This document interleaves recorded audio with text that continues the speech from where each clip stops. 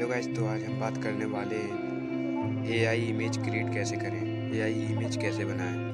बहुत ही अच्छी शानदार वीडियो लेकर आए हैं एआई इमेज क्रिएट कैसे करें? अभी बताऊँगा कैसे क्रिएट करते हैं। साइड में स्क्रीन रिकॉर्डिंग चालू कर देता हूँ। देखिएगा कैसे एआई इमेज क्रिएट करते हैं।